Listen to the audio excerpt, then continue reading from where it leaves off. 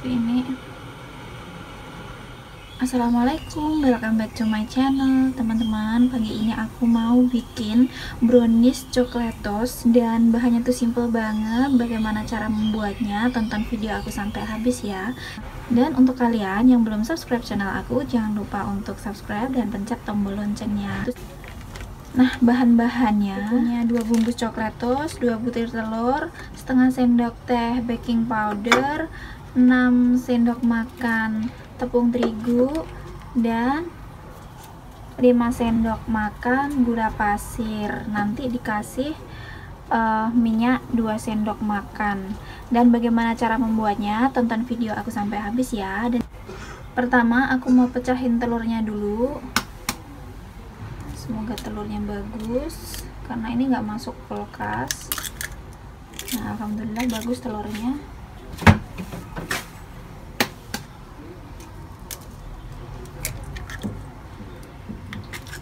gulanya ini selera teman-teman aja. Bisa pakai 4 sendok atau 5 sendok. Dan ini aku pakai ukuran sendok sup karena sendok makan aku nggak tahu di mana maklum. Tinggal di kos-kosan ya. So aku pakai 1 2 3 4 4 sendok aja. Ini udah cukup. Nah terus ini bisa diaduk-aduk. Teman-teman boleh pakai mixer boleh pakai uh, sendok atau garpu Nah ini aku mau mixer aja biar lebih cepat Tapi kalau teman-teman gak punya mixer Bisa dikocok sama whisk atau pakai garpu. Yang penting nanti gulanya larut dan agak sedikit mengembang.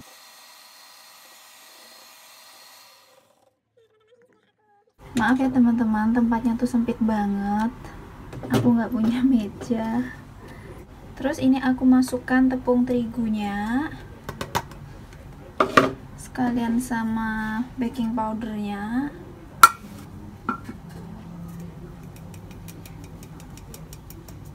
Ini aku ayak dulu.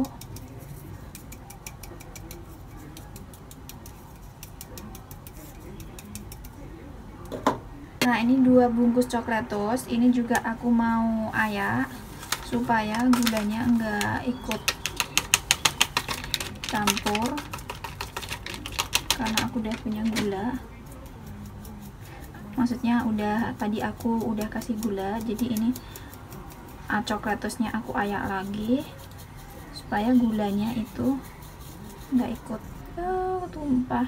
Aku tambahkan 2 sendok makan minyak minyak goreng boleh minyak sayur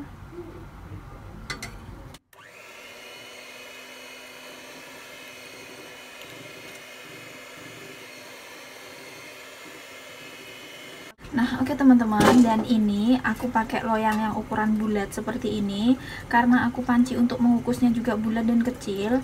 Jadi ini biar praktis dan ini udah aku olesin uh, margarin atau mentega supaya nanti tidak kelet.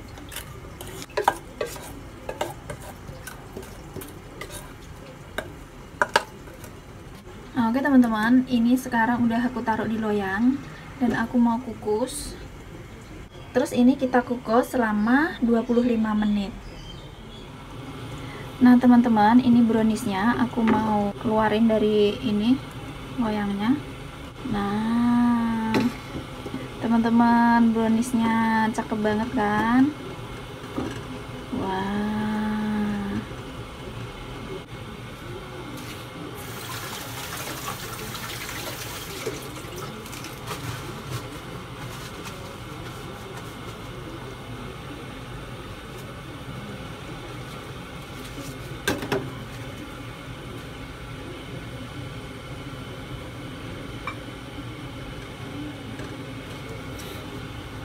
sudah jadi browniesnya. Sekarang aku mau kasih oh my goodness.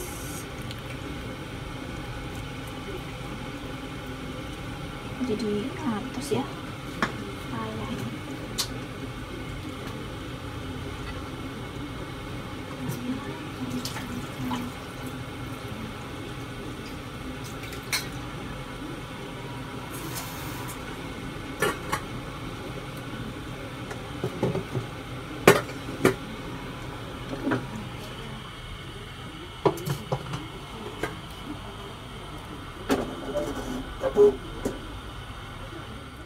nah ini aku mau kasih topengnya dulu. Ini untuk flanya aku bikin sendiri. Terus aku kasih keju di atasnya.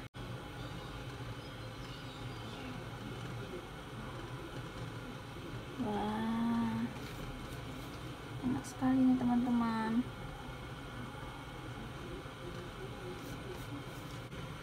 Oke sekarang aku mau potong. Wah lembut banget.